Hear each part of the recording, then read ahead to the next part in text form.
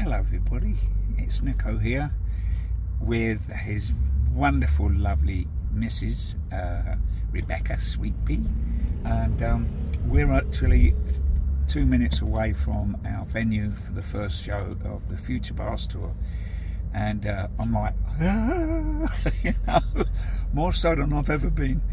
But uh, I'm very, very much looking forward to tonight. And um, and uh, rocking out to these wonderful folks here in uh, Ljubljana. So um, hope you all enjoy.